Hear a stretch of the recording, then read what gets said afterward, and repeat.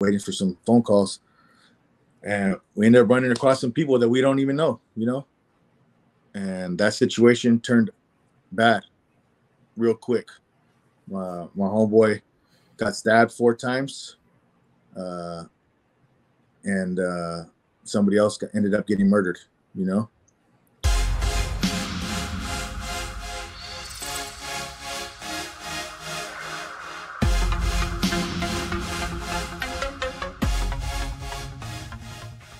What's up, everybody? How you doing? This is Big Pablo. Welcome to LA Timez. We got a special story for you today.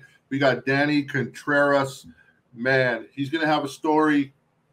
He's been all over the place, but most of all, now he's on a mission for Keys 2 Life. Welcome. Thank you. Thank you. Thank you. All right, man. So before we get going with this story, you know, my brother's a Raider fan. I won't hold that against him. So, but there's a purpose to his jersey, man. I don't know if he'll share that later, but let's also, uh, I want you to take a second to please hit the thumbs up, guys, and please subscribe to this channel, and please hit the thumbs up, man. That tells YouTube you're watching this, and they'll spread it to other people, and they'll share it with others, and this message that needs to be heard could get out. So without further ado, we're going to get into Danny's story, man. And uh, I'm sorry if my video is lagging. As long as Danny's don't, that's the main point. His is nice and clear right now. So Danny, cool. We, we appreciate you coming in, bro. Uh, I thank you, man. Um, you know, it's been a little here and there trying for us trying to hook up, but where and how did you grow up, bro? All right. So uh my dad's from Salinas and my mother's from Paso Robles, California. Uh, they hooked up and they ended up moving out to San Jose and uh, basically had me and my brothers and sisters. We were raised out in San Jose. Uh, my parents got divorced when I was about six years old. You know, a lot of a lot of violence in the lo- home, a lot of gang stuff, a lot of selling drugs, just a lot of different things going on at home. Uh, my parents, uh, like I said, they got separated, divorced. Me and my brother ended up in Fremont, California uh, on the north side over by we used to live in an apartment complex across from Cabrillo Elementary and kind of just running around the streets. You know, my my my dad would try to keep us in check as much as he could. We played little lead, Fremont football lead, baseball lead, a bunch of different stuff. Um, you know, there's still a lot of violence going on, still a lot of homeboys coming in. Uh, like I said, my dad uh, was originally from Salinas. Then uh, when we were growing up, a lot of the guys from Salinas had moved out to San Jose in that area. So we would see all these guys who were homeboys and whatnot, and uh, they were basically like our uncles. Their kids were like, like you know, we are like family kind of. So, uh, you know, just things things kept getting worse and bad. Uh, getting in trouble with school all the time, fights, authority issues with uh, people, with my pops. Um, you know, kind of felt abandoned from my mom. For she ended up taking off when they divorced married uh, a guy named Richard Diaz out of San Jose, and they moved to Hawaii. So I felt like you know she took my little sister from me, and uh, and they I felt we felt abandoned, you know. So we were just with my dad. Ended up getting kicked out when I was 14 years old because all the trouble I was in, and my dad sent me to Hawaii to live with my mom. Me and my brother and sister all together in Hawaii. Uh, you know, it just spelled trouble, and uh, it's only a matter of months before my mom was like, "You're you're gonna go to Paso Robles to one of my one of my aunt and uncle's houses." Right? And so uh, basically shot me to Paso Robles, 14 years old, starting a new school. My plan was to run away and go back to Fremont. Uh, that didn't happen. Uh, you know, my aunt, my aunt and my uncle, I love them, love them to death, and my cousins. Uh, but my aunt was trying to change me, and you know, whatever it was, whether it was a dress code or she wanted me to dress a certain way, and I didn't want to do those things. Uh, you know, we ended up butting heads a lot, and I ended up taking off. I just ran away, and uh, my like I said, my plan was to go back to Fremont, catch a Greyhound back to Fremont, and that didn't happen. I ended up staying there. I met some people there, started hanging out. Um, I ended up getting arrested for being a runaway. My grandmother came, got me, and she was like, "Just come live with me." My my grandma, my grandma didn't really have no rules, you know. Nobody nobody really listened to her. I mean, I loved her, but uh, I was like, "All right, cool. I'm gonna go live with grandma. I could do whatever I want." And uh, that's basically what happened. You know, I moved in with grandma. Where, was grandma? Where was grandma at? Grandma was in Paso Robles, California. So, so basically, man, so you went out to they sent you to Hawaii. You ran them up there too. Everywhere you went, you were just causing trouble. It seems like even at an early age, you know. Yeah, getting getting in trouble.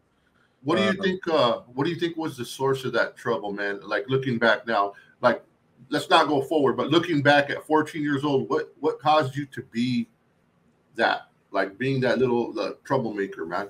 Yeah, a little trouble. Yeah, so I don't know, man. I, I tell I see it in my kids now. I think it might be in the genes too.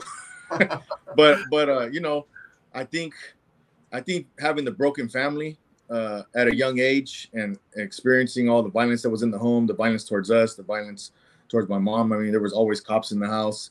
Uh, not feeling loved and abandoned at a certain point. Like when my dad kicked me out, it felt like my dad gave up on me when I was yeah. 14 years old. Like, like you ain't coming back. He gave me a one-way ticket to Hawaii, and I held so much anger and hatred towards him for, you know, I wouldn't even talk to him. I was like, fine, you kicked me out, I'm not coming back.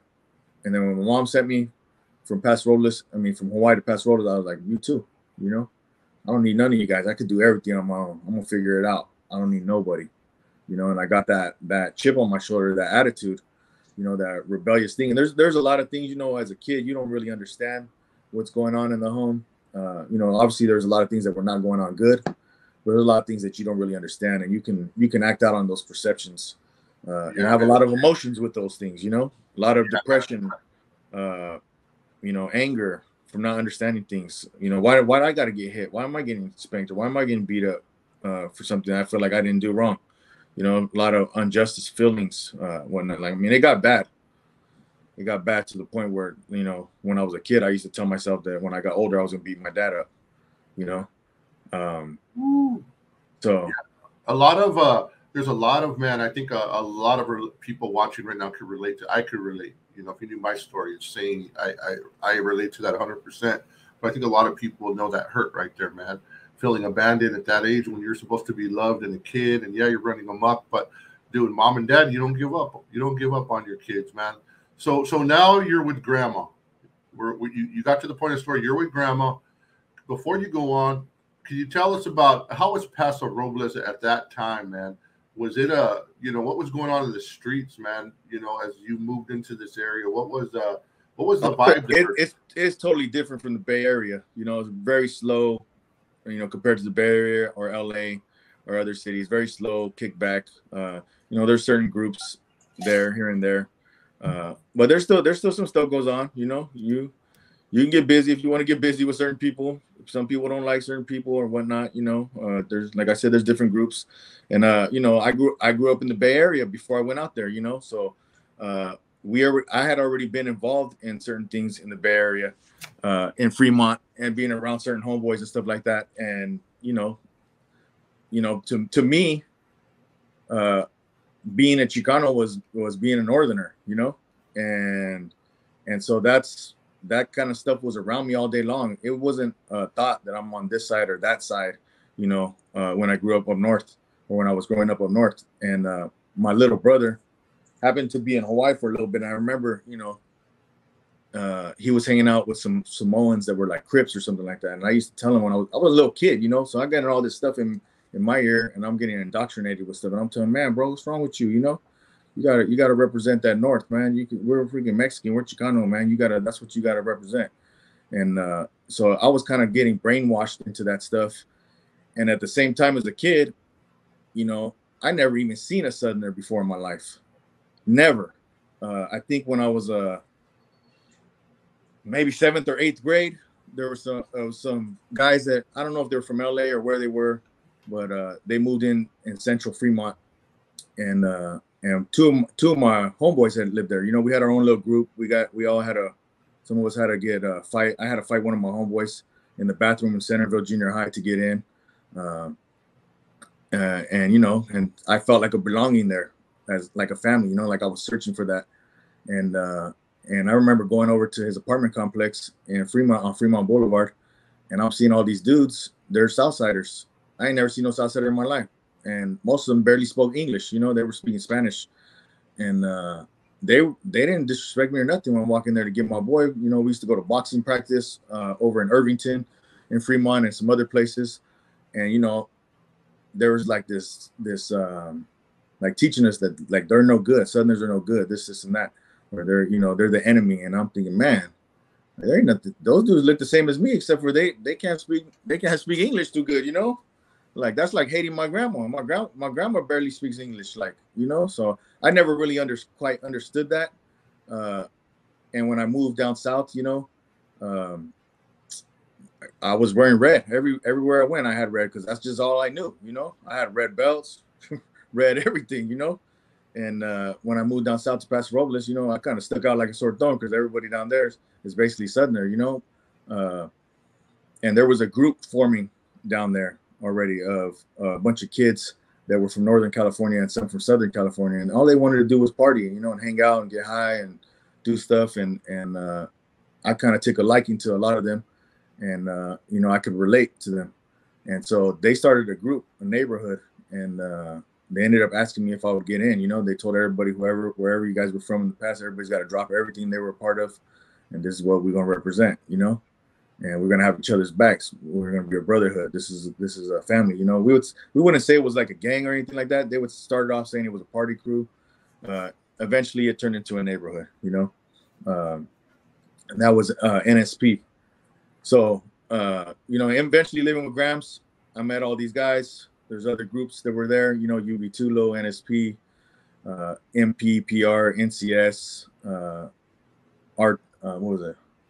RTL or UP. I forget what their what the other names were, other neighborhoods.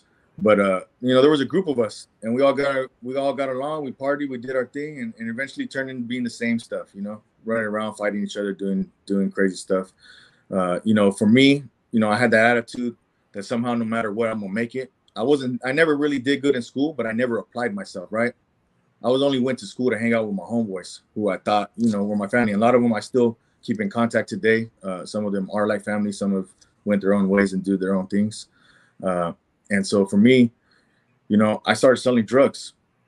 I had another homeboy that taught me. I kind of jumped jumped in there and uh, and I figured selling drugs was gonna be my way to being a man. How, how old were you at this time? How old were you were talking? Uh, when I when I when I started selling drugs, like really started selling drugs, uh, I was either, I think I was like 15 or 16, maybe 16 years old. You know, I was already messing around with all that stuff. I never was a drug addict, uh, but I would use drugs. I mean, I used everything, you know, uh, smoking weed, drinking, uh, LSD, uh, crank, meth, you know, all, all, all that, all that stuff. Uh, main thing was drinking all the time and smoking weed. Um, you know, so I started selling drugs. I figured, you know, there, there was certain image that I had of being a man. You know, you had to provide for yourself and your family and uh, for me, like the dope game was a stepping stone for me. It was like I'll go make all this money, whatever I can make out of this, whether it's selling weed or selling cocaine or selling whatever, and I can use that to start a business, and then I can flip it, and I can show my homeboys how to do it once I learn all these things, you know.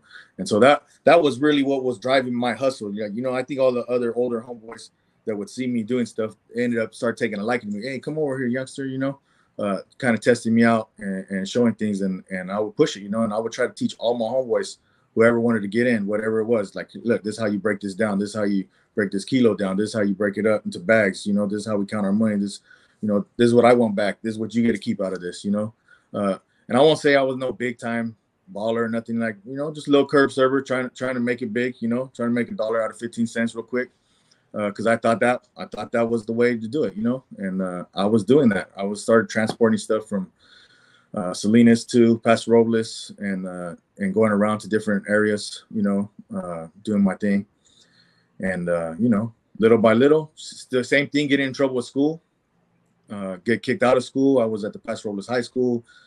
ended up at Liberty Continuation School. Got pretty much kicked out of Liberty Continuation School. Was on juvenile probation assault. I had assault with a deadly weapon. Me and my my uh, homeboys uh, jumped somebody who uh, who we said who somebody told us disrespected, uh, you know, our clique or whatnot, and uh, went to juvenile hall for that. Did a couple weeks. My homeboy did a little bit longer uh, because he started saying crazy stuff, telling him he liked to see blood, and I don't know what he was telling them. Somebody got in his ear in juvenile hall, told him to say all this crazy stuff, and they ended up keeping him longer. You know, so I was on juvenile probation. I mean, I I had I had the system down. Like you know, even when I was doing drugs, I would figure out when my PO was gonna come around. I would drink bleach, niacin pills, whatever, whatever, whatever. Sweat it all out and give them a. I never peed dirty one time on a drug test for uh, probation. I, and I had high supervision, juvenile probation. Uh, anyways, it got to the point I still kept getting in trouble, selling drugs, and, and doing dumb stuff, getting in fights all the time. Uh, I mean, my ground was like, like basically you can't stay here no more. So I ended up moving into one of my homeboys' house in their garage. You know, kind of just sneaking in the back window, and then uh, I got a full time job because you know I need to have a job. The reason why I got so many mo- so much money here and there, and uh, my homeboy sister worked at the same place, and she ended up telling me she seen me sneak in the window, and I was like, yeah, that's I've been sleeping in the couch in the, in the garage, you know. And she she she went and told her mom, and you know the parents. My homeboy's parents are great, man. They freaking took me in. They're like, don't even you don't have to sneak in, coming through the front door. You know, you come and stay here every night. But I ended up leaving. Um, you know, I got kicked out of school. I mean, there was a bunch of other stuff. I, I think probation had told me that if I didn't get in trouble for like a year, that I would be off probation. So that was my whole goal as a kid. Like I'm gonna get off probation. And I don't have to worry about this probation officer all the time, you know. And uh, I had not been in trouble for a year. I had been arrested like six, about six or seven times. Maybe I've been to juvenile hall on different stuff. And um, I finally got to that point where I, I got a little bit smarter and started not doing dumb things. I was still doing dumb things, but not dumb things to get caught, you know. Uh, and uh, it was my year. My year was coming up, and they weren't gonna let me off probation. They basically told me after I got kicked out of continuation school and probation, like, we're not gonna let you off probation until you move out of our county. So I was like, all right, cool. I'm gonna move out the county then. And uh, I, my, my homeboy Hugo came with his van, and my other homeboy Joe. They came pick me up. We packed up whatever stuff I had in my grandma's, and uh, they took me to Salinas to my grandparents' house. My my grandfather is a pastor or was a pastor of a church in Salinas, California, uh, Templo Mount Sinai. It's a mostly Spanish congregation, but Spanish English. All the all the people there know me since I was a little kid. So I was like, all right, cool. I'll just go to Salinas, lay low for a while, you know, keep doing my thing. I'll just come back and forth, drop some stuff off to my homeboys, let them sell the money. I can still make some money, you know, and I'll just kick it. And I'll keep a low profile. You know, I don't want to bring no heat to my grandpa's house. He's a pastor of a church. I want to show at least show some kind of respect, you know. Uh, I would go to church every Sunday with them just because they made me, you know, and out of respect. That's how we did. You got respect for your family, your grandparents. You do what they say, you know. So all right, cool. I'm gonna go to church. I'm living at their house, you know. So I would go to church with them. Would I listen the whole time? No, I wasn't trying to listen none of that. Like I'd be up there in the little kids. What is it? Uh, Sunday school, you know, playing with the little kids. Uh, you know, going across the street to the liquor store, getting gum or candy, coming back, and you know, hopefully, hopefully it's over by the time I get back. I didn't want to listen to none of nothing, you know. Right before I left Paso Robles, uh, California, uh, and and my homeboy Hugo and and uh, Joe took me in the van. Uh, my homeboy Joe's mom, Carol Morales, she came out and she gave us some, you know, some bomb, uh, chorizo egg burritos, you know, and a Bible. And she's like, Mijo, I want you to have this. And I was like, man, I'm like, I don't, I don't want that. I don't even need that, you know. But I took it out of respect for her because that was my homeboy's mom, you know. So I said, all right, cool, thank you, appreciate it. Put it in my stuff, not thinking nothing of it. You know, my other homeboy Hugo had gave me this book. I've, uh, I've been trying to find it. I think this might be it. I got it on Amazon.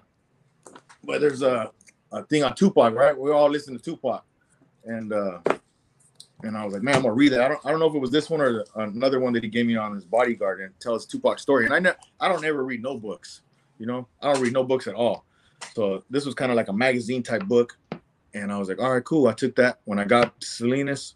You know, I hadn't been using no drugs. I didn't want my grandparents to see me like that. You know, I got a job. I was going back and forth on the weekends to Paso Robles. You know, and uh, I started reading that little book about Tupac, and it talked about how when he was in jail, that he wasn't doing no drugs and he had a clear mind, a sober mind, you know, and that uh, that he started reading the Bible, right? And then he had this that uh, only God can judge me tattoo because of uh, Revelations 20, I think it's 11 through uh, 15, you know, where it says everybody's gonna stand at the end of the world and be judged by God, and that's the reason why he got that tattoo. So I was like, you know what, man, if Tupac read the Bible, I'm gonna read this Bible. I'm gonna try to figure this stuff out. And uh, I cracked that Bible that my homeboy's mom gave me, and I started reading it. And man, I read Matthew, Mark, I got to Luke, and I was like, man, this thing, this thing is stupid. It keeps saying the same thing over and over about Jesus. I don't make no sense. This is why they keep repeating themselves. You know, this is crazy. And I said, you know, I'm gonna read that that that book that Tupac talked about, uh, why he got that tattoo. So I started reading Revelations, and man, it felt like God started speaking to me. You know, uh, there was a lot of other things that have gone on in the past that I have been involved in and stuff like that. And uh, there were some people that I that I wanted to do some some uh, acts of violence that you cannot take back, right? And it felt like God started speaking to me, like, "Are you ready to die, the way you're living right now? Are you ready to die?" While I was reading this book, man, it scared me. You know, I was like, "Man, close this book, put this book down," you know.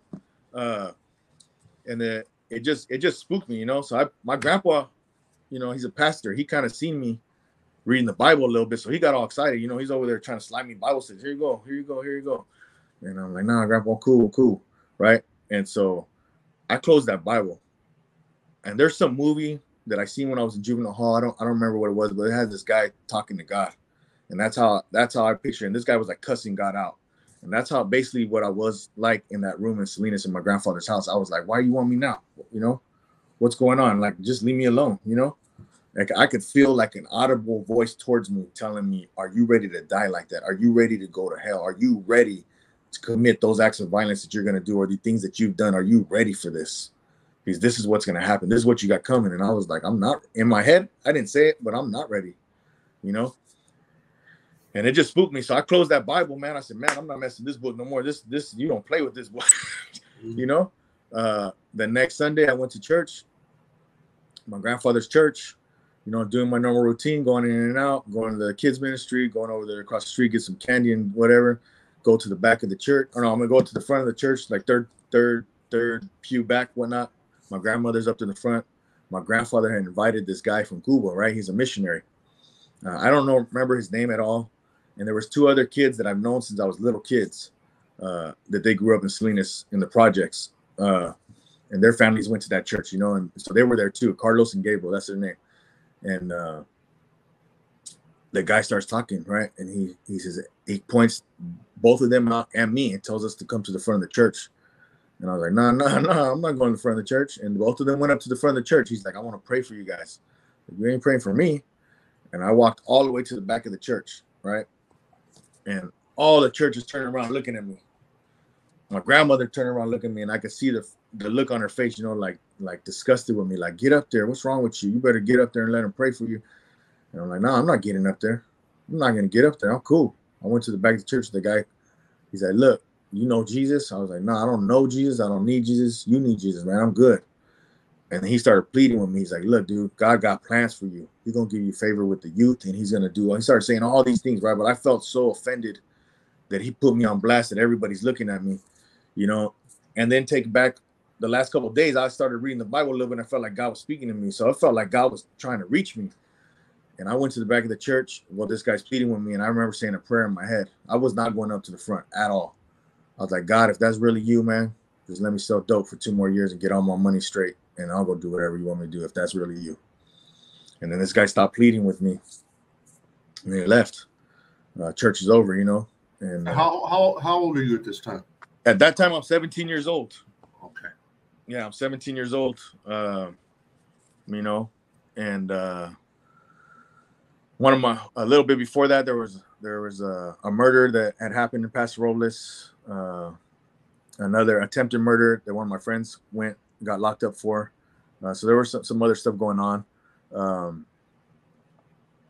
you know, and I, I just, I, at that point, you know, I had just moved to Salinas to wait to get off probation and go back. At that point, I didn't even get my probation paper, walking papers yet. My grandfather pleaded with me. He's like, just wait till you get your paperwork. Just wait till you get paperwork. Don't leave. And I was like, no, I'm gone, grandpa. I can't, I can't stay here. Cause I felt like God was talking to me. I was like, man, what the heck's going on, man? This is crazy. I opened this book talking to me. I go to church. Now this guy's talking to me like he God. I, I got to get out of here, you know? And, uh, I remember I did one I did one last thing, you know, so so lost in our stuff. My my one of my homeboys had got cracked for selling dope, and that was the main person that I used to get stuff from. And so I had to find another connect. So I found another connect before I left in Salinas.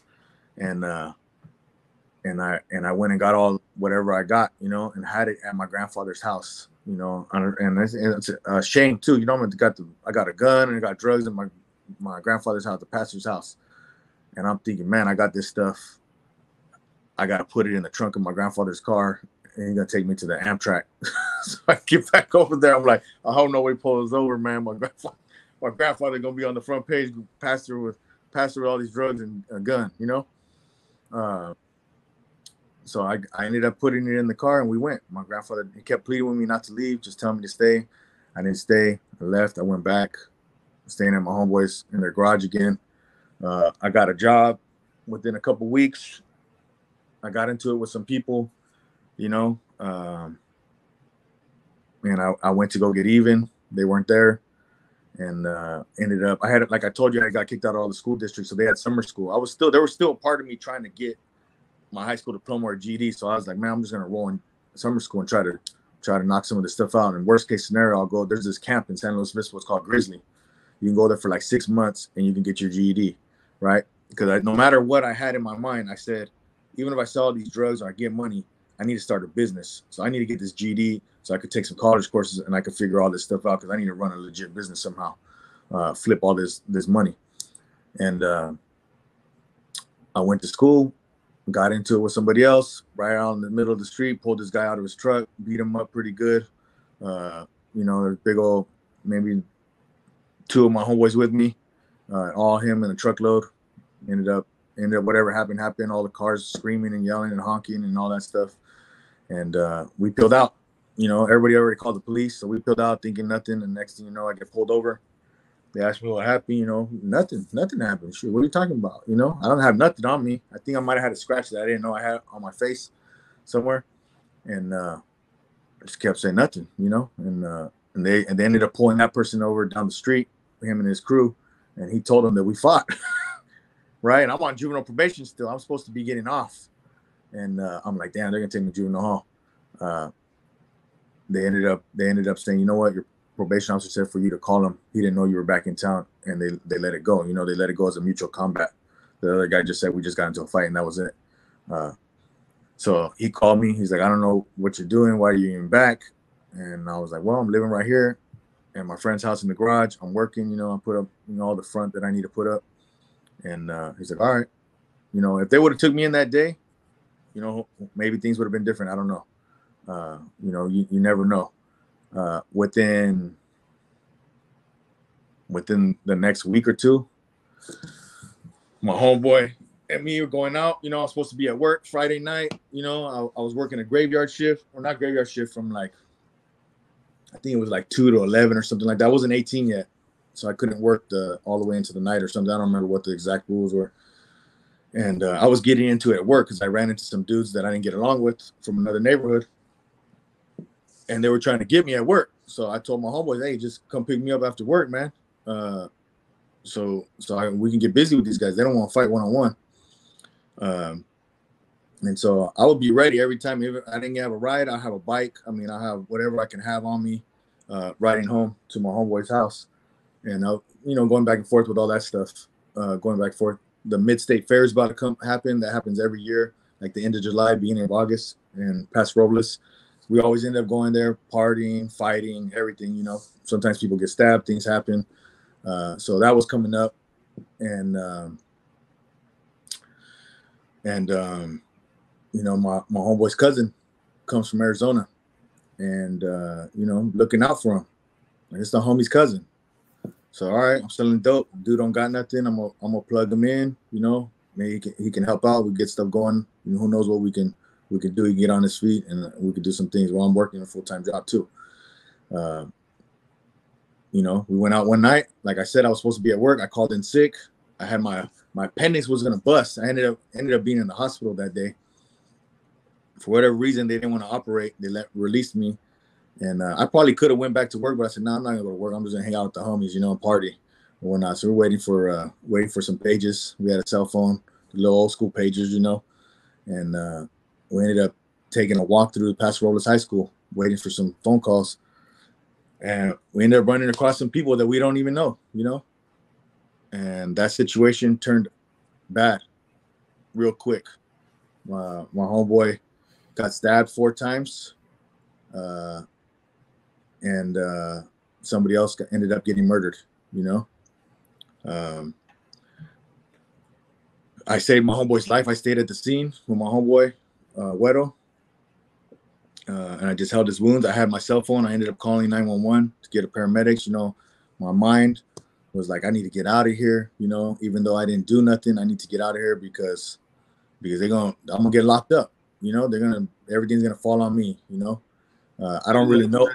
The guy who got murdered was on the other side or your guys' side? On the other side. So my homeboy got stabbed four times first, uh, behind the gym in Paso Robles High School, uh, where we are walking through, you know, and uh, and he was telling he was on the ground screaming, uh, holding the guy's leg, you know, who he thought stabbed him, and saying he stabbed me, he stabbed me, he stabbed me, you know. That guy ended up breaking free and running.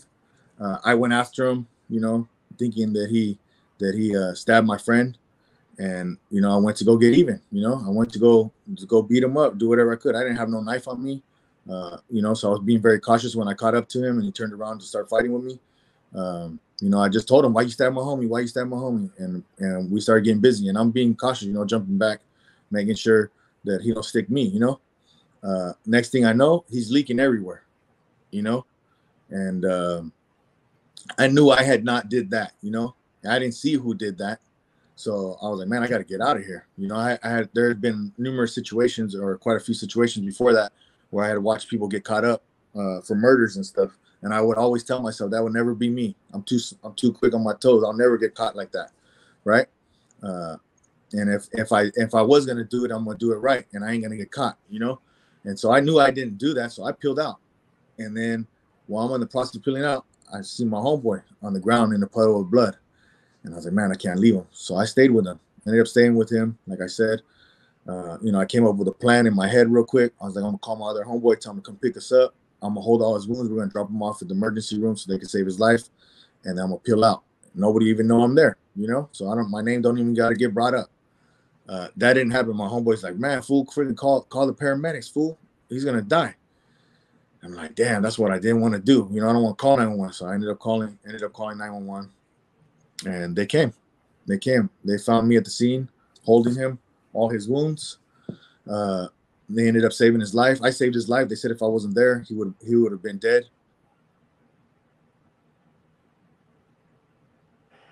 You still there? Yeah, yeah, yeah. Blacked out right there. Somebody tried to call. Sorry. Uh, anyways, uh, so the other guy, his friend, had got him. He had three friends with him. I don't know where they went. They had all disappeared uh, in the in the beginning of the fighting. You know, uh, I think once my homeboy got stabbed, everybody kind of disappeared. I don't know where they were at. Didn't see them again. Uh, and only one of them at the end. He was trying to get his friend into to the car to try to take him. You know, and uh, and from when I was told, they only made it up to the front of the school, uh, and and he passed away. So I'm, I'm getting I'm getting charged with murder, gang enhancements, assault with deadly weapons, multiple multiple assaults with deadly weapons, all kinds of stuff. Uh, how did they catch gonna, you, bro? I mean, how, how, did they how did they figure you? Well, they they that was arrested at the scene. So so uh, they had uh, witnesses and stuff. Yeah, so they had one of the guys. Well, I found out later, uh, they had two witnesses. Uh, one guy, like I said, I think they both didn't see nothing, just whatever was going on in the beginning, you know. Uh, they said certain things. So, anyways, I'm in, I'm in the police station. I don't know what time it is, midnight, one or two in the morning. I don't really remember what time it was. I'm sitting in there, you know, and I remember they sat me in uh, a holding tank, right? I was covered in blood, you know. They came and they went and did their swabs. All all the swabs got all the blood off me for DNA or whatever they whatever they were doing. See whose blood was whose. Uh, and I'm sitting there covered in blood, and uh, they bring they bring in uh they bring in my homeboy's cousin, right? I don't I don't really I don't even I think he went back to the neighborhood from what I was told, you know, and I don't I don't know all the details of that. He was telling everybody certain things that happened, you know, so a lot of mothers and aunts and everybody kind of uh, said his name, and I and from my understanding, uh, he had dropped his ID or something where the other guy had got stabbed, and they had a shoe print or something. I don't I don't really know, all the details of that. But um, they bring him in, and I can hear him. He can't see me. I'm in the holding tank, you know, and he can't see me.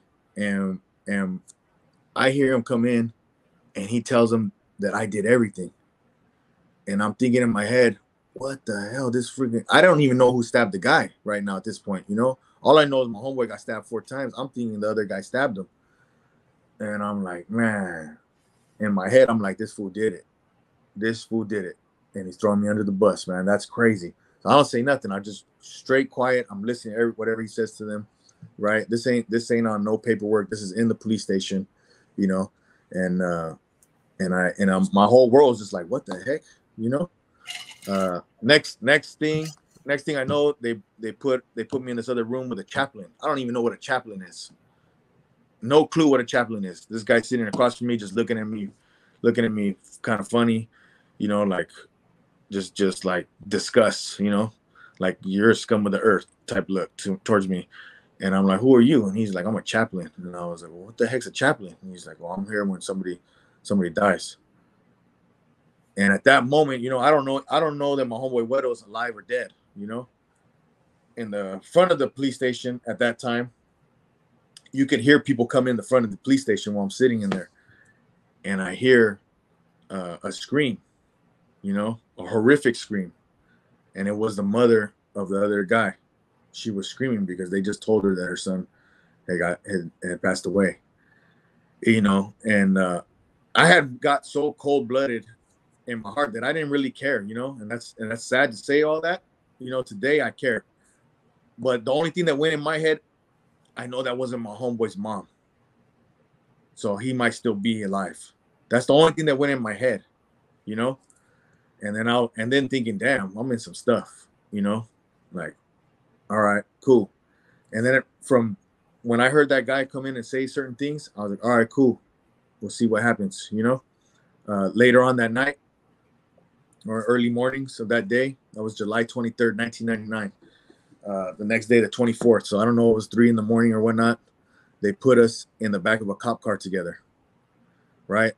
And I may be naive. I don't know all the whole system, but I was I was at least smart enough to know like like they they probably put us back here for a reason, right? They're probably recording us, trying to see what we say to each other and whatnot, right? And I since I already heard him say certain things to them, I'm like, all right, cool. I'm gonna make this fool tell on himself uh, you know, and then I'm gonna be out of here, you know. Uh, so they put us in the back of the cop car. They're gonna take him to the county and me to the juvenile hall. So I tell him, you know, like, what's up, man? What happened? You know, and he tells me the whole the whole rundown of what whatever he happened, you know, whatever he says happened. And and I'm like, cool, sure. I'm thinking in my head, you know, I gave him advice. I told him, look, man, there's some homies that got life sentences. Uh, you know, they took everybody down with them. Like, do what you need to do to let us let us cut us loose don't don't tie us up in this, man, because uh, you know nobody knew whatever was going on or whatever you decided to do. You know what I mean? You know, and I was like, you just try to make the best deal, the best deal you probably could get. If you can't get nothing better, at least 15 in life or lesser, you know. But cut us loose, man. And so we had that conversation. He gave me his word that he was going to do that and this, this, and that. He went to the county jail. I went to juvenile hall. Then we got arraigned for all the stuff. Uh, my friend came like days later to the juvenile hall, you know, all stapled up from all the stab wounds. They said if he would, if it went a little bit further like that, uh, he would have been paralyzed, uh, and if he would have lost any more blood, he would have dead. He would have been dead. So then, then goes fighting the case. You know, fighting the case. Here we go. Now I got murder. Now I got gang enhancements. Now I find out that one of the guys at the scene saying he seen me with a knife, which wasn't true. Then, then he's saying he seen me hold the other guy down uh, well, the other guy stabbed him. Then he says he seen me stab him. So many different versions of things that they said happened that did not happen, you know. Uh, and so I, man, I you feel like everything's against you. The whole world's against you. Everybody kind of just disappears, you know. I knew I had a little bit of money from hustling, wasn't a lot. I don't know how much it was, maybe four thousand or something, or six grand. I don't remember what it was, but I remember, you know, they gave me that first call from the juvenile hall, and I hadn't talked to my dad since he kicked me out when I was 14, maybe once or twice. And I told him, I was like, you know, I need some help. They got me in here for murder. And he's like, he cussed me out, told me a bunch of stuff. And then, you know, the juvenile hall guards were listening to my dad cuss me out and tell me all this crazy stuff. And he's like, don't say nothing. I'm gonna get you an attorney. I'm like, all right, cool. And I told him, I told him where I had my my money at. You know, I was like, just go over here and tell tell my homeboy to give you that money. Uh, I had it in like a little safe thing. And he's like, all right. So he went and got that money and got me an attorney out of Santa Maria, uh, Dario Bejarano, and uh, we started going to court. We went through all the fitness hearings. You know, the other guy was an adult. My homeboy Wedo was a juvenile, and I was still a juvenile. They couldn't put our faces in none of the papers or nothing like that. You know, as far as the juveniles, and uh, we went to court. We went to all their fitness hearings. They brought that person who said he seen me stab the guy, or he said he seen me hold him down. All the different stories he said, and they brought him into the courtroom and they told him to point me out. He didn't point me out. He pointed out my homeboy Weddle that had got stabbed and was freaking 50 or 100 yards.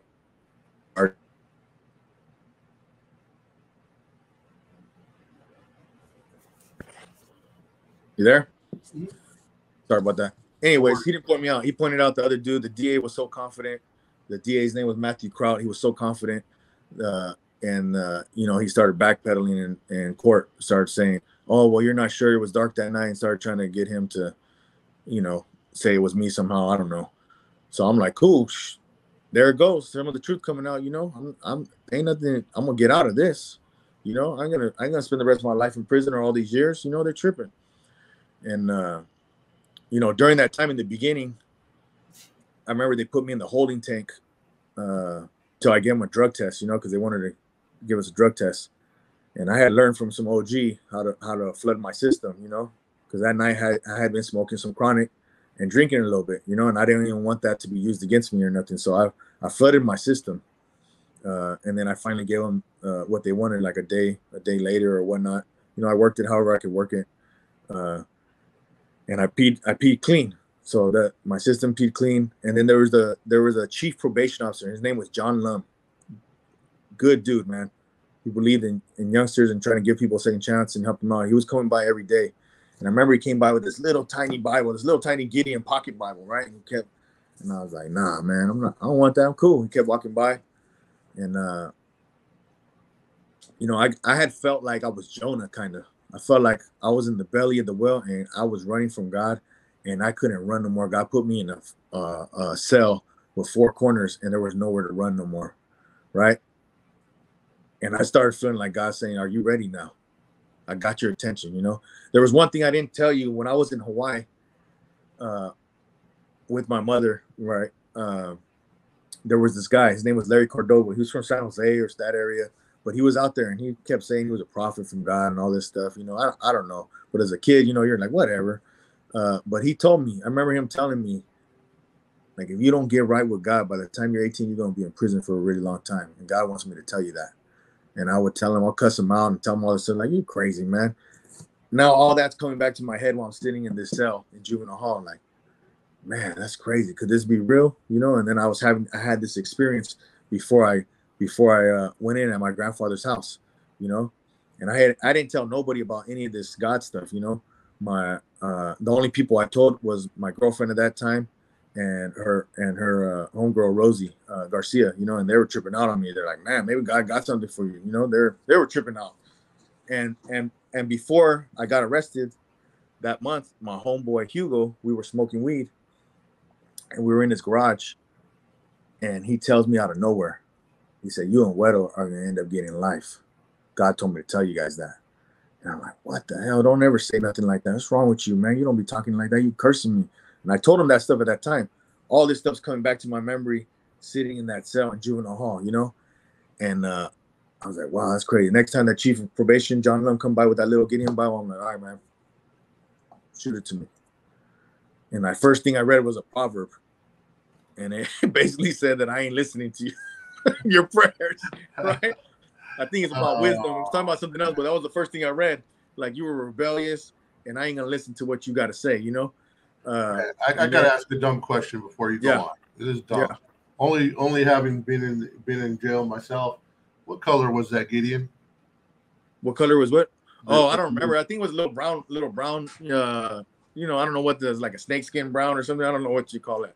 Okay, because I, I there was a lot of orange ones, white ones, green ones, and brown ones. So yeah, know, whatever it was. Go ahead, bro. I'm sorry. Yeah, it was a little pocket one, and so yeah. I I just started my so and then my little brother's already in the juvenile hall. You know, he was in CPS and foster care and all that. He ended up beating somebody up in his group home, so he's in there the same time as me. He's getting in into it with other dudes in the other unit. I can hear them, you know. They're coming to get me as the bigger brother. Come talk to your brother, man. You know, so I'm I'm doing mediation up in there to my brother and other people, and and uh, and it's, it's just going crazy, you know. And I'm facing this life sentence now. Uh, you know, I go to court, I get arraigned. I get arraigned on my 18th birthday. because I was gonna turn 18 soon, get arraigned for the 18th birthday. You know, like I said, I hadn't been in trouble or I hadn't got caught for anything for over a year or around that time, and the judge had knew me, so he was like, "Mr. Contreras, I hope these things are not true. I haven't seen you in my courtroom for over a year."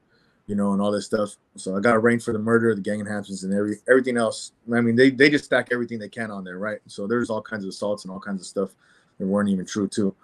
Uh, and I remember coming back to juvenile hall that night. They had me and my homeboy separated. You know, the one that got stabbed, Weddle. Uh, he was on. I was on West Unit, and he was on Central or East. And so one of the guards came to me at night after I got arraigned, and he's like, "Hey, uh, your homeboy Weddle wants you to go to church." So I'm like, "All right, cool. You know, yeah, hopefully they're gonna let us go together so we can we can go talk."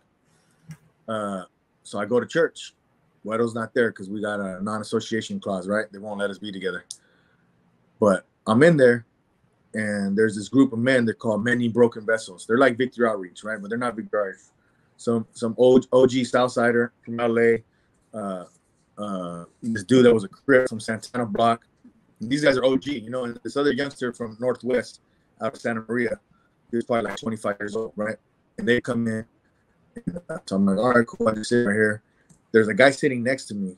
He's in there. I know him uh, his brother had beat up one of my homeboys, and we always said that like when we see them, it's on sight, you know. So he's sitting next to me, and he's in there for shooting at one of my homeboys, at, which I didn't know yet, right? Uh, or shooting at somewhere where he thought he was at.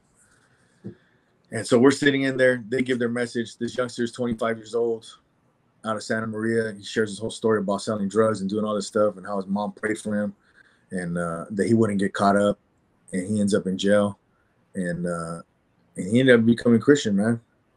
And I was just tripping out on it. You know, this 25 year old dude. You know, I'm like, man, what the heck? Things never made sense like they made sense that night. You know, you tell me all this stuff about God. I'm like, nah, I don't want to hear none of that. Forget that. Miss me with all that. Or if it's real, I'll wait until right before my dying my dying breath, and I'll say that prayer so I get my pass into heaven. You know, trying to work the system. Uh, but I never never cared for none of that. I mean, I would tell people crazy stuff. They would tell me stuff about God. Like, man, I worship Satan. What's up? You know, don't give me those tracks. Show them tracks in your chest. You know, people would trip out on me. Like, why are you like that? Like, I just didn't want to hear none of that stuff. You know, and like I said, when I was with my family, I would be out of respect. I would go there and keep my mouth shut. Uh, but that's how I was, you know. And so, listening to this kid, you know, from this neighborhood, and I'm like, man, that dude's just like me. I ain't never seen nobody you know, I mean, I'm I'm younger. He's 25 years old, but he's still kind of a youngster too. You know, he's just like me. And uh, I didn't want to change, man. I didn't want to become a Christian. I didn't want to do none of that stuff. I just wanted to get out and go back to doing my thing because I thought I had everything figured out. You know, I thought I had a game plan. You know, and my game plan was to sell drugs until I came up and flip that into legal money. You know, um, but that night something just clicked and made sense. And they asked you to say the sinner's prayer. So I said, I was like, you know what, God? I don't know what's gonna happen right now, man. I'm about to spend the rest of my life in prison for something I didn't do. Only you know what really happened that night. You know, you know I didn't stab that guy. You know I didn't hold that guy down to be stabbed. And I don't even want to serve you. But you know what? If you can change my circumstances and you can change me, because you got to change me. I cannot change me, you know? I still want to do evil things, man. I still want to hurt some people. I want to kill some people. I want to I want to go get high. I want to go have sex with all the women I can. I want to do all the crazy things that that was that I like to do. You know, I still want to do those things, but I need you to change me. If this if, if this is real, I need you to change me. And so I said a prayer that night, man. And uh and something happened. I don't I don't, I don't know how to explain all that stuff, but little by little things started happening. The guy next to me that was there for shooting my shooting at my friend, uh, he said that prayer too. So I went that night thinking I'm gonna go see my homeboy Weddle. Ended up getting saved. Right. And all the times I was in juvenile hall and juvenile service center, JSC in San Luis Obispo, before that, you know, they have like a, a system, like a point system where you go to bed a certain time. If if you don't behave and you get in trouble. I was always getting in trouble, not big trouble, but just enough where I wasn't where I wasn't able to stay up. You know, it got the guards were noticing like there were some changes in me. They were about to put a documentary on me in the juvenile hall. Uh, you know, I started doing good. Uh, you know, it wasn't it wasn't easy. Things didn't change overnight. I had a bad foul mouth. Everything was a bad word out of my mouth. You know, uh, I mean, I got to the point where I'm writing letters and they have to read all my mail because of my case. Uh, they're coming to me like, look, man, stop cussing in your letters. I'm not gonna send out your letters no more. if you stop cussing in your letters, I'll let you send out two letters a night instead of one. You know, I'll do that indigent mail that they do. And you know, little by little, every Wednesday night, many broken vessels. I was there faithfully, started listening to everything they got to say, started uh, forming a little group of us guys in there that were in there for serious offenses, uh, praying together, you know, uh, looking out for some some dudes that came in there, never been locked up before, don't know nothing about the streets, maybe just hanging out with somebody and everybody try to victimize them, you know. Ended up making friends with some of those people and their families, you know, just just for looking out for them and helping them out. Uh, the case kept going, you know. Uh, my homeboy's cousin was in adult court. He went through his whole process. He got uh, 29 years to life. Uh, I'm up next. I get tried. I get finally get go through all the fitness hearings. Tried as an adult. I'm going up to court next to go for my life sentence. Uh, and then my homeboys, uh, my homeboy, he stays in there because he basically he's a victim, you know. So they gave him like two or three years in ROP.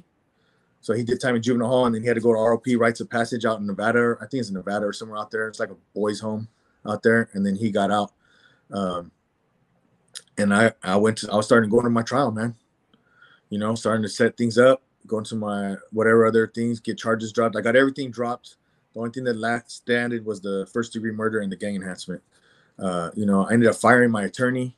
I got another attorney from out of Salinas, Thomas Worthington, uh, and we kept fighting. And then on my day that I was supposed to pick my jury, I was not taking no deal. I was like, nah, man, I didn't do nothing. I shouldn't have to go to prison for the rest of my life.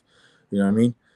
And my attorney would tell me, man, dude, like you're young, you have a little bit of a record already, and uh, they go, they, they, there's a possibility that you can get a life sentence. And if you get a life sentence, Gray Davis, who was the governor at that time, you ain't gonna go home. They say you're gonna go home in a pine box, and they're gonna bring up everything in a micro, my, you know, uh, magnifying glass on your life, you know, and they're gonna make you look bad. And they were already making me look bad, you know, everything that they they could find uh, where they were throwing at me. There was a lot of dirty stuff that happened during my court hearing. So, so I remembered the they put us back in the back of the cop car. So I told I told my attorney, "Well, subpoena that tape because I know they had to been recording us, man. They don't put us back there for no reason." Subpoenaed it. They said they couldn't hear nothing. It was all static. I was like, "Man, these people are dirty." I got the juvenile probation officer. They gave me a juvenile probation officer, like an intake officer inside the juvenile hall. Her name was Lenore Gallagher. I don't know what's up with that lady, but she wanted me to spend the rest of my life in prison. And she was there every day telling me I'm gonna spend the rest of my life in prison. Every day coming to me and telling me that. Uh, it got so bad that I had to tell my attorney, don't let that lady come see me no more. If she comes see me, she needs to come with an officer or somebody to speak to me. Uh, I'm in the courtroom, they had a another probation officer come in there, and I don't to this day I don't know what people got out of this, but there was a lot of bad stuff that happened in my case. Her name was Lori Camp. She was a juvenile probation officer. She went into the courtroom and said that me and my homeboy Weddle were high fiving that we were getting away with murder and the gang stuff. And there was no way we could be high fiving. We're all in shackles, belly chains, and everything, you know?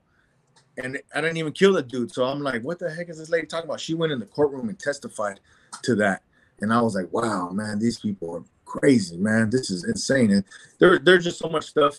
I was I had a lot of anger, you know, I was still dealing with I'm trying to change my life now, you know. Uh, people are like, man, that's fake. How can you become Christian? You're in here for murder, blah blah blah blah. Know, I get I got fined fit as an adult that day when I got fit as an adult. They took me to the county jail to, to the hell to the whole 100 block in San Luis Obispo County. Uh, so I sat in there. I'm seeing all the all the dudes that I was in juvenile hall with, their dads and uncles up in there, you know, in the hole with me. I'm sitting in the hole for a few months. I'm trying to. I, at that time, I had already fired my attorney. I got the new one out of Salinas. I was trying to get back to the juvenile court so I could go to YA if worst case scenario, you know. Uh, and so he got me back into the juvenile hall, at least so I could go to school, try to get my high school diploma or something, because they had, they were doing school in juvenile. You know, just one thing after another. You know, things, things were going on, so a lot of dirty stuff, and I, I still had a lot of anger, but I was learning things from Calvary Chapel. Was coming in every Sunday. I would go with them, many broken vessel guys every Wednesday, and uh, the day I was supposed to pick my jury, the day I was supposed to pick my jury, um, or I should go back to this. This lady came in. Her name was Jean Cook. Old white lady. beautiful lady, man. You know, uh, you know, good, good person. What I mean by that, right? She came in. I don't even know her. I'm on the unit, and she tells me, she tells me I'm gonna. uh She tells me hi. I don't say hi to her because I don't even know her. I'm like, who are you? Freaking, I don't know you. You know. And then she comes and tells me, she says, "You want to be hard all your life? You want to be like this?" And I don't know. I don't remember all the exact words she said to me, but it. I was on the unit by myself, breaking, uh, setting up the the lunch tables. You know, they usually have like two two kids setting up the lunch tables. So I'm setting them up, and whatever she told me just just hit me, struck me, stroked me right in my heart, man. And, and I started crying, you know. And I was holding these tears in while when she's talking to me. I wasn't letting nobody see them. I was just holding them in. I'm setting up the tables, and she's like, "I'm gonna come visit you on Friday. Is that all right with you?" And I was like, "Yeah, yeah, yeah," you know. And uh, I was like, "All right, cool." She came visit me. She started coming visit me every week. She started reading the Bible with me and explaining things to me in the Bible. She she uh you know I never heard of the Serenity Prayer, AA, NA, really none of that stuff, right? So she's like doing this stuff with me, the 12 steps, right? And not that I'm an alcoholic or a drug addict or nothing, but she's just walking this stuff through me. And we do a self inventory of, of basically like all my all my faults, all my sins, all this stuff. I write everything down. I'm doing this. This lady's like shocked that I'm doing all this stuff with her. She's like, nobody does these things. You know, you're a kid, like, and I, I was being honest, and it was so honest that I wrote a lot of stuff down that I shouldn't have wrote down. And uh, and she had a good relationship with the juvenile hall, ju- juvenile guards, and they let me shred all that stuff, right? Uh, so she was beginning to work with me. This other older lady, Ruth Smith, she would come in and do Bible studies and explain things. So they were coming to visit us, uh, and so I started to make some understandings. They read this scripture to me, Jeremiah 29, 11. It says, For I know the plans I have for you, declares the Lord, plans to prosper you and not to harm you, to give you hope and a future, right? And there's a lot more to that right there, but it basically says that God, when you seek Him with all your heart, He's gonna bring you back from your captivity. And for some reason, whatever, when she read that, it leaped off the pages to me. Like I got hope. Right now, it seems like I got no hope. That I'm about to do the rest of my life in prison. I'm never gonna get out of here, but I got hope now. And she could see it, you know. Uh, I didn't know it then, but she was writing a journal on everybody that she was seeing in the juvenile hall. And so this other lady, Jean Cook, would go to all my court hearings now, praying with me, talking to me. Uh, so I'm I'm there, getting tried as an adult in the adult courtroom now. Uh, it's my day to pick my jury. They come out, and my attorney tells me they offer you a deal. They want to give you voluntary manslaughter and gang enhancement, and they want to give the sentencing open from four years. So mid, uh, low term, mid term, and high term the max you get is uh what is it? Uh three years, three years, six and eleven, I think it was at that time. And then the gang enhancement at that time was three years max, right? So you can get either one, two, or three. Uh I had just I fell under the old law. That year they changed Prop 21. Uh, and then you could get like six, ten or a life sentence off the gang enhancement. So I still fell under the old law. And I told him I'm not taking no deal. Hell no. For what? Why am I gonna take a deal? I didn't kill him, you know. I didn't kill him. I know I know I was there, stuff, certain things happened or whatever, but I didn't kill the dude. Why should I go to spend the rest of my life in prison? Why should I do any time? And I was very adamant about that. My attorney told me, he's like, look, man, if you catch this life sentence, you're not gonna get out. I want you to go back to the juvenile hall and I want you to think about this. We're gonna tell the judge we're gonna give you two two weeks. He's if we take this deal, you can put on a sentencing hearing of all the things that you've done since you were in juvenile hall uh, the case factors, mitigating factors, and you might have a shot of getting the lower sentence.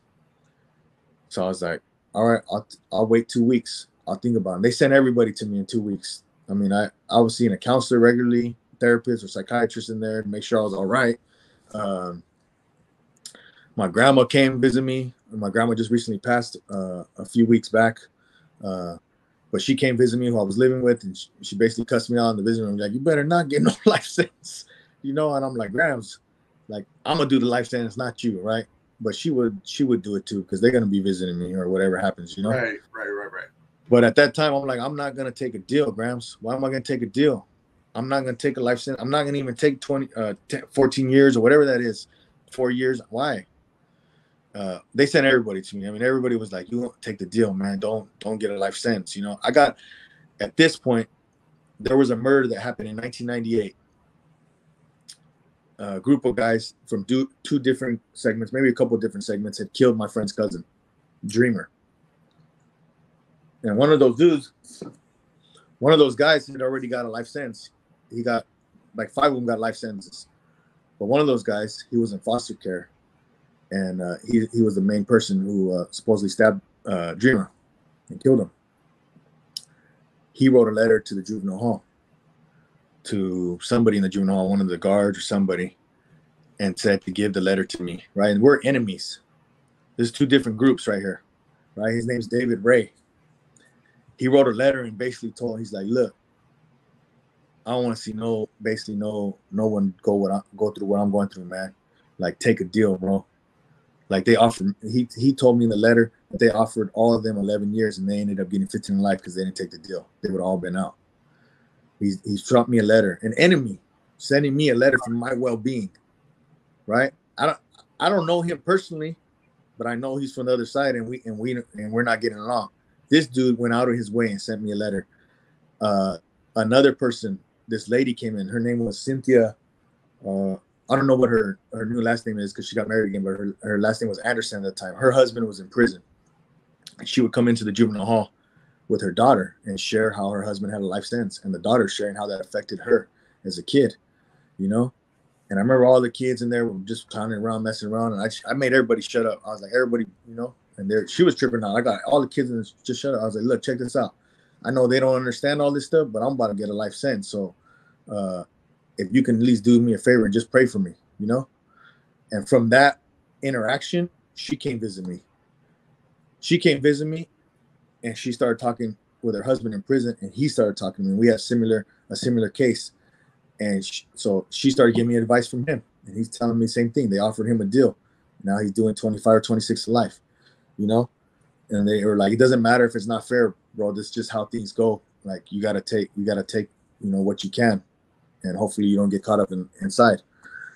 So I mean, I'm sitting there for two weeks thinking about it. They do a, a probation report. Probation report pretty much comes back in my favor. Says that they should not send me to prison. That uh, that uh, they don't have enough evidence saying that I they did whatever they that I did whatever they accused me of. The person that they said is testifying against me uh, has changed the story multiple times, whatever. Uh, and you know they did a panel uh, for this probation report, a couple people basically said that they should send me up. The rest of them said that they shouldn't send me up. That they should they should give me the least amount of time. So I'm feeling confident. All right, I'm gonna go to this hearing. If I take this deal, I got a good probation officer report for sentencing recommendation. I got all this stuff that I've done since I've been locked up. I go to court. I tell, I finally tell them, you know, they, my mom and my dad, they put me in the back room with them, in the jury room, by myself to talk to them. You know, they've been divorced, fighting for years they're in here talking to me about taking this deal. So I break it down. I say, all right, man, I don't agree. I don't want to take this deal, but I'm gonna take the deal. So I take the deal. I go back in there. They put me for sentencing. Sentencing comes. They say all the stuff. The DA blasts the the probation department, John Lum. I think they were. I don't know. I think they were gonna have him arrested or something. I don't know. Uh, but they didn't. They did not like that guy. That guy was trying to help out all the youngsters, man. I mean, as far as you know, creating programs, helping people, uh, and they didn't like that. Uh, so they recommended that I don't go to prison, and they gave me probation or something. And the DA basically said that they got too attached to me and all this stuff, and they ended up giving me 14 years. My attorney had told me that him and the DA had talked, and the judge in the back room, and that worst case scenario, I was going to get eight years. That's what they told me. And I told my attorney, you know, I was, I was young. I should have made sure they put it in paper. Uh, I said, well, why don't you go have him write it down? And he's like, no. My attorney was being all scary. He was like, I don't want him to take the deal back away. And I was like, man. I was like, all right. Went to sentencing. Psh, 14 years. Boom. And I'm like, man, they went back on their word. They said in worst case scenario eight, I had a shot for three. Um, you know, so I'm I'm angry, frustrated. Um, and the and the judge before he sentenced me, he tells me, Mr. Contreras, don't think your life is over. You'll still be a fairly young man when you get out at 30 years old from now, right? He's uh, there was some recent guy who just got out. It was a boxer or something in the Olympics. I think he was talking about uh I don't know. I think it was that movie Hurricane or something, but that guy was innocent. it's like, wait, are you, are you telling me that you're knowing you're sending me to prison for stabbing this person that I didn't stab. Is that what you're telling me? In my head, you know, I'm like, man, that's crazy. And uh, so I just sends me 14 years. I got up, the courtroom was packed. All my family, friends, homies, uh, the victim's family and friends. Um, you know, I get up in my shackles. They escort me to the back to go back to the to the county, and I just basically say my goodbyes to my family in the courtroom, and I go back to the county, go back to the prison pod now, and and, and wait for them to catch the chain. You know. So now you're on your way. You you're, you're going back through the hallways. You got 14 years. Was this during the time of halftime or what was it? No, so uh, I got a strike, uh, got the gang enhancement. So that mean at that time got to do 85%, right? So uh, so 14 years with 85%, right? Wow. Uh, and you're so, like one of the, you're one of the youngins right there in the county jail, obviously, you know. Yeah, by that time I'm already I think I had already turned 19. I think I was already 19 now. So from 17, I spent juvenile hall. The county, I'm in there. I'm 19 years old. Wow, bro. Yeah. C- continue with the story, bro. That's cool. This is awesome. I mean, it's not okay. awesome uh, what you went through, but it's an awesome because I know the end. So but let's keep going. Yeah, yeah, yeah. So, uh, so 19 years old, going back to the county, waiting to catch the chain. Uh, you know, uh, there's a lot of a lot of other older dude OGs in, in my tank. I mean, I think I'm in B deck in San Luis Obispo County Jail. Uh, one of my homeboys that got caught for selling dope, so he was in another another pod. I don't remember what pod it was, and uh, and you know I was like, shoot, hopefully I catch the chain with my homie. You know what I mean? He said, no, somebody that I'm going with. I got some other dudes that are in the tank. They trying to school me down on prison and tell me all the stuff, politics and all this kind of stuff. You know, I'm not really caring about none of that. Uh, it's a new experience for me, you know, a little bit scared at the same time, trying to figure everything out. Uh, I just know that no matter what, I had to protect myself, and uh, and you know, God, God had seen me through this far. I was a little bit mad. I felt angry at God it right there because I was like, dude, I've got 14 years, God, what's up? You know, I didn't even stick to dude. Like I, you know, and I had told myself, if I get a life sentence or I get a bunch of time, the person that did it, that I found out who did it later, I'm gonna get him when I get to the pen, you know. And so there's still this stuff that's kind of still, I'm God's still working on me with these things, right? And I got some people coming to visit me, and they're giving me books on forgiveness, mailing them to me or whatnot. And I'm like putting the book to the side. You know, I'm reading the Bible, but I'm putting those books to the side because I'm like, I don't want to read that right now because I got to do something when I get to the pin, you know. And uh, and I don't, I don't, I felt like I would, I'll be responsible that I had to forgive them or something. And so I would not read that stuff, uh, but I was still trying to do right. You know, things things don't happen overnight when you're used to living a certain lifestyle. You got a lot of hurt and pain. You got things. You got to work on some things, man. It's a it's a it's a pro process, you know. And so there really was no church in the county. Uh, catch the chain. I ended up catching the chain with my homeboy. Uh, so we ended up going to the same same block in Wasco, same same uh, reception center, and then we ended up being cellies uh, there, which was pretty cool. So at least I got to see one of my boys before I got all the way in to hit the main line, and uh, you know, just went there. Just you know, prison's prison, man. You see all the stuff, the gang stuff, the politics, the dirty stuff that's going on there, the drugs, people getting stabbed, whacked, cut, every well, whatever you can think of, riots, all that kind of stuff. So it was Wasco. Um, and then I get sent to I ended up getting sent to Pleasant Valley D yard. Uh, so I missed level four by like, I think it was like two points or something. I think I, I think I have like 49 points. Uh, and they probably lowered my points because the good behavior that I had in juvenile hall and county. I don't know, but I probably should have been level four right off the bat. Uh, so I went to level three Pleasant Valley DR. Before I went there, my celly uh, in uh, Pleasant Valley, I mean uh, in Wasco, uh, this OG from Santa Ana. His name was Pelon real good dude. I forget his first name. Uh, I think his last name was Villa, but he was a real good dude, man. He, you know, he schooled me down, showed me what I need to do to survive in prison. You know, he had been in prison multiple times. You know, told me how to take care of myself. You know, conduct myself in the cell, conduct myself outside, and on the yard, and uh, you know, just, just, just not no gang stuff. You know, he, showed me all that stuff too, but but how to take care of myself. You know, how to how to clean your cell, how to take a bird bath. You know, I ain't I ain't never took a bird bath before, right? We still had a shower in the county juvenile hall. We had a shower. I'm like, man, bird bath. What what's?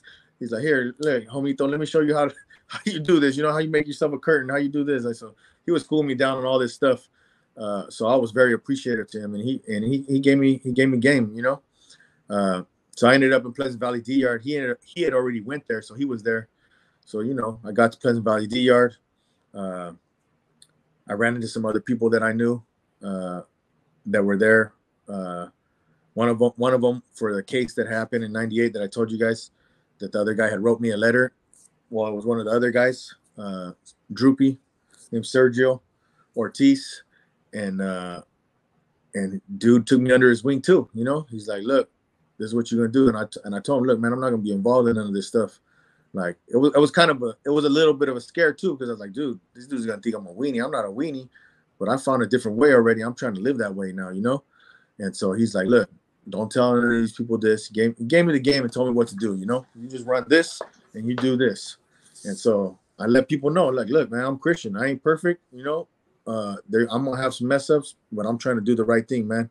I don't know how this all gonna work out. Like, I will defend myself if somebody runs up on me. You know, uh, and and dude was good. He gave me some more game. Uh, you know, things worked out. I got Bible study there. Went to a bunch of stuff. I ended up getting locked up there pending investigation.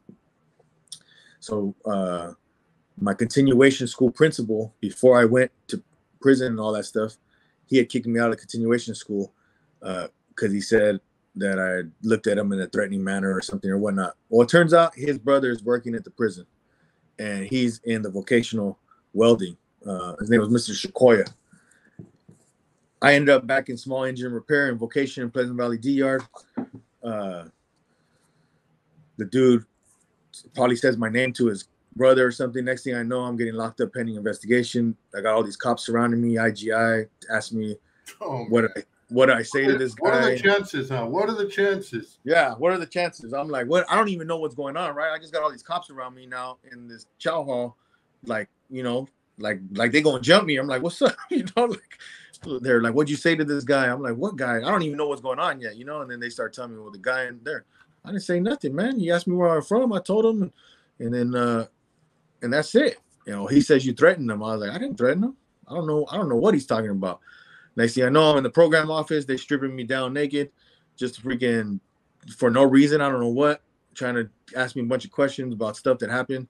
Turns out those guards are from Paso Robles, and their their kids uh, are probably my age or something. They start asking me if I know their kids and all this. I'm like, I don't know your kids. I don't know nothing, man. Like I don't even know why I'm here.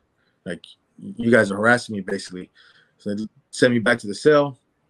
I stay in the cell pending investigation uh, for this threat to this free staff. They're telling me if I walk out the cell at any time and I see him, I'm not to look at him or go the other way. Uh, within a few weeks of being locked in the cell, they transferred me to to um, A yard. Everybody goes through A yard at Pleasant Valley. At least they did when I was there. Uh, that was like the reception building before you got transferred to whatever yard they did you after classification. So I'm in A yard chilling in, in the that reception building, and uh, I had put in for a hardship. I had put in for a hardship to go to California Men's Colony, just because to be close to my grandmother, right? And uh, basically, that prison is no good. That prison, if you're still an active gang member, you can't be at that prison, right? And if you're there, you need to get off in three days, 72 hours, or or 24 hours. It depends what group you're from, right? Uh, so I put a hardship in there and they basically told me, "Yeah, right, you ain't never going there." You know. Now all this stuff happens. They got me locked in a pending investigation. Now they're trying to find to send me somewhere as a threat and safety to the security of the institution or whatever that stuff was. Uh, next thing they call me on AR and they say, "Hey, we're going to honor your request to the hardship." so you know, like whatever people say that you can't do, like somehow God makes a way for it to happen, right? Uh, and I had met some. I had met this dude that was there. He seemed like he was pretty cool. Uh, you know, I'm I don't know nothing about the Bible. This is kind of new to me. I'm reading it. I'm learning things. I still got a lot of hatred, a lot of things that I'm dealing with. Uh, while I'm there, I read this book. It's called God Meant It for Good by R.T. Kendall, right? And it's about the life of Joseph. And I'm reading this book, man, and it's breaking me down. It's very therapeutic, you know, like everything that I was going through. And I was like, man, this is me. And if like I'm gonna have to forgive people, man, if I want to move forward, you know I'm out. To, uh, maybe God had a plan through this that I that after all this, I'm gonna be able to help some people out. You know, I don't understand all of it right now, but man, I was literally in my cell. Okay, basically, I, I'm in my cell breaking down over this book. You know. Anyways, there's this other guy, older dude. He's trying to school me down too in the Bible. He tells me, "Oh, I, I know this, this, and that." All right, cool, cool. I'm, I'm, I'm willing to learn. What's up? You know. He, he getting a little bit crazy, trying to act like he's my dad. You know. some of the other homies like, man, bro, you you let us know we will, we will book him, you know. And I'm like, nah, bro, you don't you don't got to do none of that, you know. Like, dude, dude mean well. As far as I know, he means well. You know, I don't I don't know. Maybe got some stuff he's dealing with. You know what I mean? Like, you don't got to do nothing like that to him. So I ended up getting transferred to CMC. Before I go, everybody's like, bro, you better get off.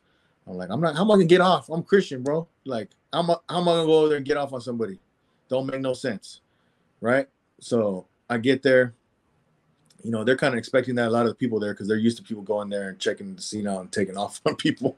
I get there, I run into the lady's husband who came visit me in juvenile hall. Had no clue. I go out there for a visit. My grandma's out there visiting me, and uh, she says, "I seen her out visiting. Her name's Cynthia, right?" She says, "Have you met my husband?" I was like, "No, I didn't meet your husband." And she told me what cell he's in, and he's like two cells down from me. I'm like, man, that's crazy. That's God right there. Turns out he's leading the ministry on the yard. I'm like, wow. So he kind of taking his name's Ahmad Anderson, right? She she was a Hispanic, so I'm, I'm thinking her husband was, you know, Mexican, but he he a brother, right? And so uh, that kind of shocked me a little bit too. And I was like, oh, all right, cool. So I meet Ahmad, and me and Ahmad kick it off. You know, he he good dude. You know, he starts he starts schooling me down the Bible. I got this other OG that came from another pin, and he's still trying to be like like he's my dad or something. I'm like, dude, you're like you ain't my dad, right? Uh end up end up moving in the cell with the dude, and this dude was trying to school me down crazy, bro. Like, get up at three in the morning. He's like, he had all these rules for being a Christian, right? So he would get me up at three in the morning with him, and I had to read the Bible with him at three in the morning. We had to do certain things, and it got to the point where it was pretty much violence, you know. Uh, I had to, I had to get out of there. I ended up moving cells. Um, and there's, a whole another story and testimony around all that stuff. The dude, the dude tried to do me some dirty stuff, some politics stuff. But uh, you know, God, there's a scripture that says, you know, uh, how's it go? It's Isaiah 59. No weapon formed against me shall prosper. Right? But it doesn't say that weapon won't be formed. Right? So sometimes there's gonna be a weapon formed against you, and it may look like something's gonna happen, but God's gonna take care of it, right? And so this person uh was kind of a weapon. But it also, it also in my head, I was still like, I'm innocent, man. I shouldn't even be in here. I'm going to the law library. I'm I'm I'm hitting the law books. I'm trying to figure out a way to get out, I'm trying to figure out things out, right? And I'm not trusting in God. And so it kind of was a test at the same time that kind of refined me in that moment, you know? So he started telling me like basically it was like God telling me, like, dude, just let that go. You're here. You gotta accept it. You know, there's a saying that like they tell a little boy stand down, uh, sit down, and he sits down. But he says, in my heart, I'm standing up. And for me, I was I was sitting down. I was doing all the right motions, but in my heart, I was still standing up in a lot of things, right? And I had to learn that I had to forgive some people, and I had to trust God that even though this 14 year sentence, I had to do all of it. Like I, I need to trust God that God's got a plan for me. Like I read in Jeremiah 29, right? And so I got through that whole realization right there. I met a bunch of brothers right there that had came down from the four yard and other prisons that were youngsters like me that had became Christian, right? Tony Tony Perez, uh, he was from 18th Street. Uh, uh, Ray Aguilar from Long Beach, uh, Roy, uh, Raul, a bunch of other brothers. Man, we formed like a little pack of brothers, young brothers. We are all youngsters. Most of them had life sentence or or over 10 years, working out together, going to Bible study together, going to Bible college I didn't have a GD or high school diploma, but these brothers inspired me. You know, like man, you getting a GD, bro? You got a life sentence? Like I'm gonna go get a GD. I went and got my GD, right? And uh, and I just learned. I learned so much from so many older dudes at that prison. Like I told you, I told you before. I don't know if that was on the recording, but I I met uh, Bruce Davis, one of the Charles Manson family.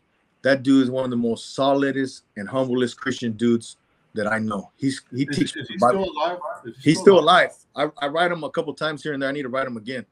Uh, he's in San Quentin, I believe. Uh, the last letter I got from him.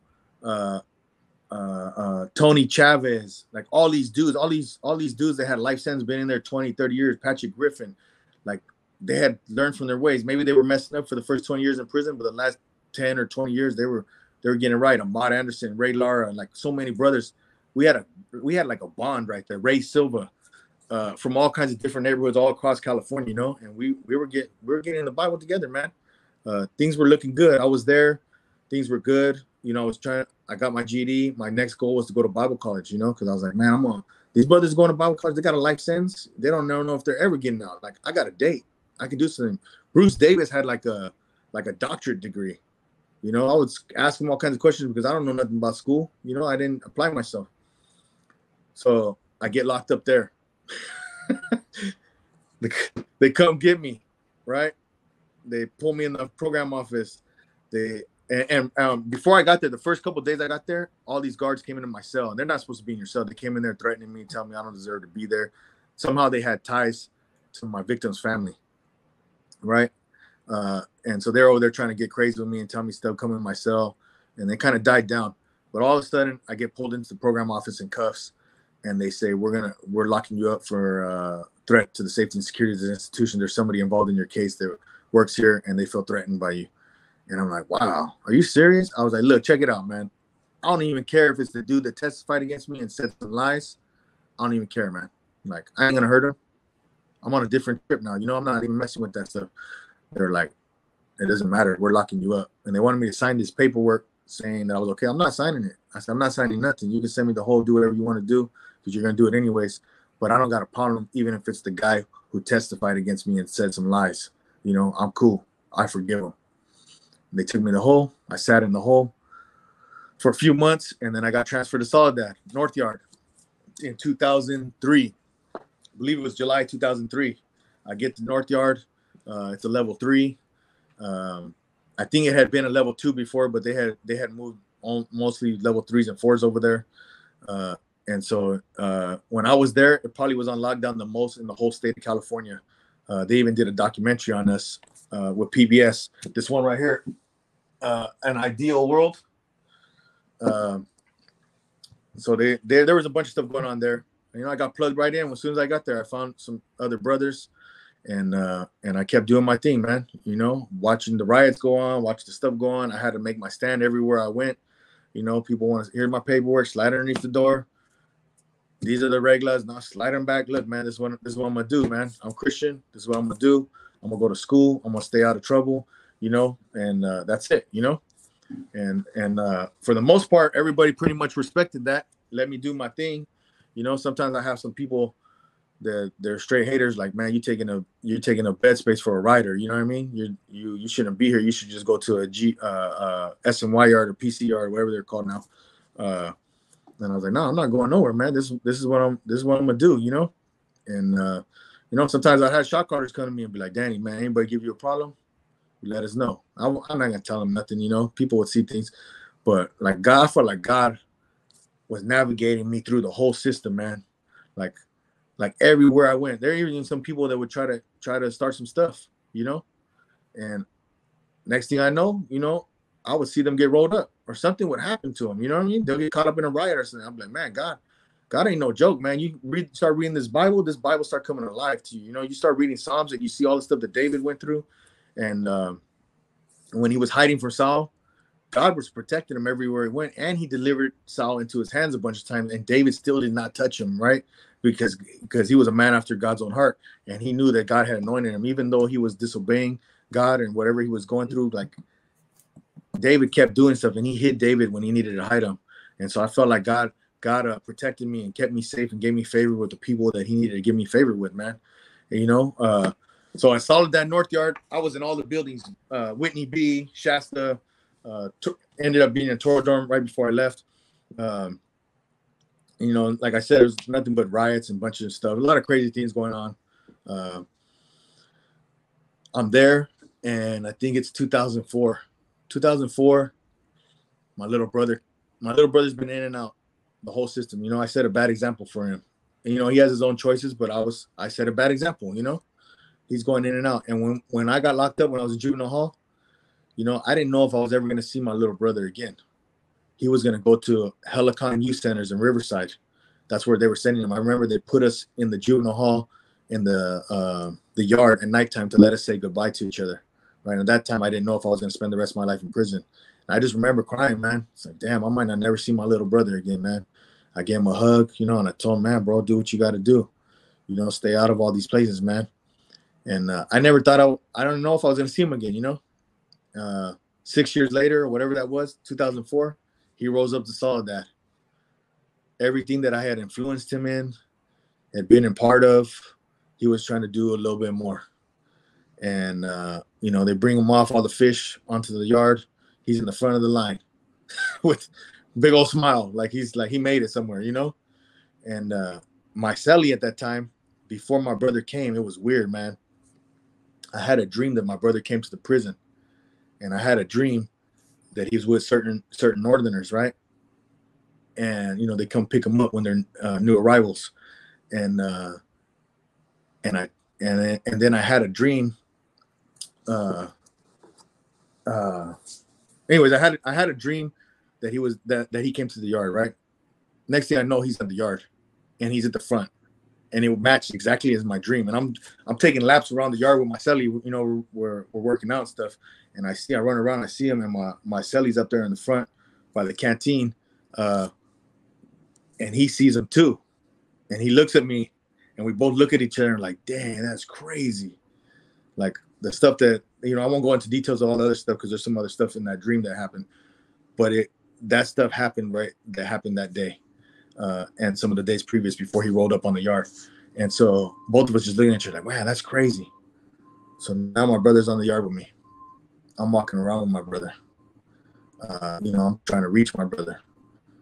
You know, before I before I left the juvenile hall, and he he left. Then, I was like I said, I was and I had a good connect. And he told me, he's like, bro, he's like, give me the connect.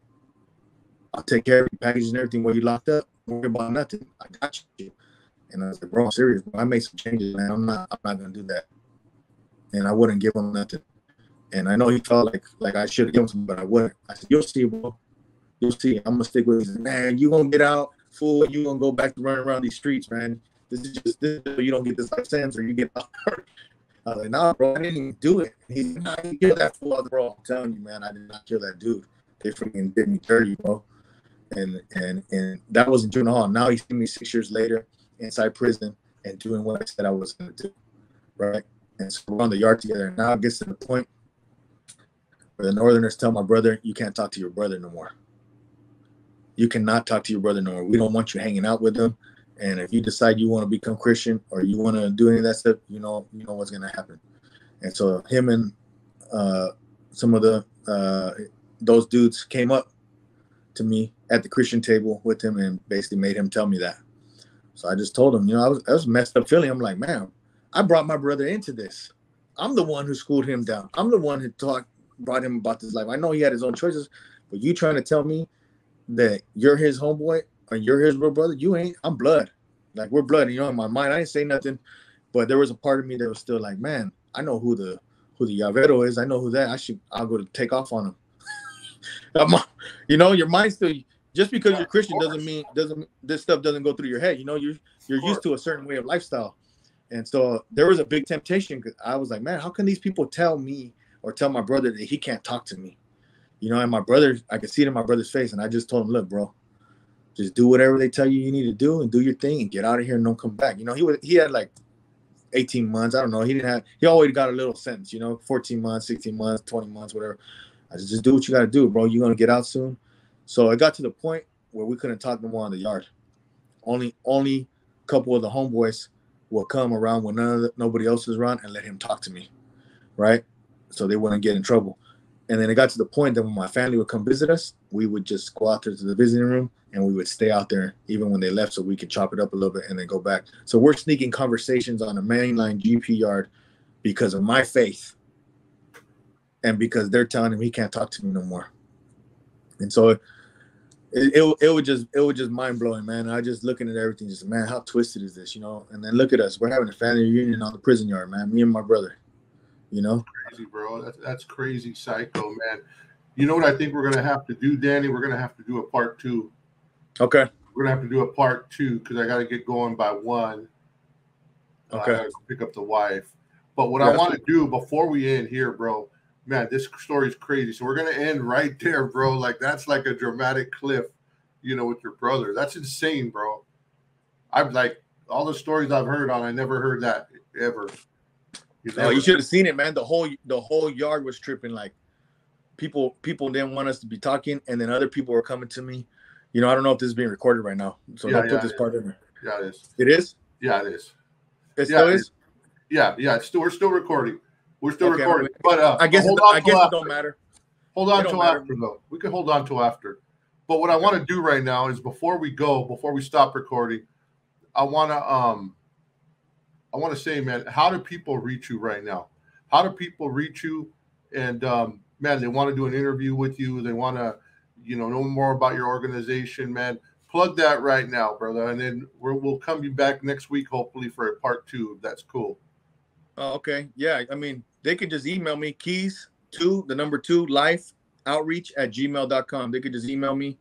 Um, or you can get at me through YouTube. I got a YouTube channel, Keys Life. Same thing, Keys, the number two life.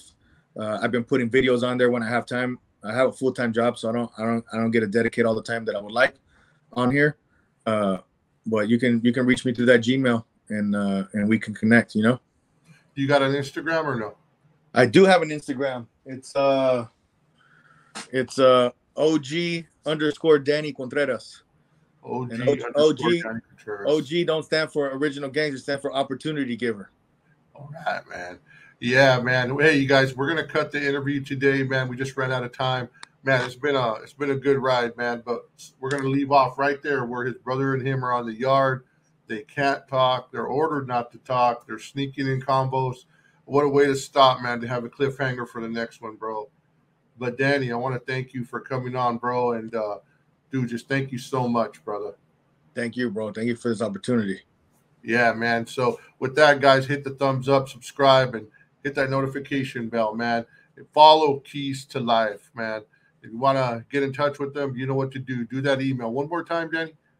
Keys to life outreach at gmail.com. All right, Keys 2 Life. The two, right? The Two. Yes, number two, not TO. The number two. Keys 2 Life. All right, guys. Have a good one. God bless you. God bless you.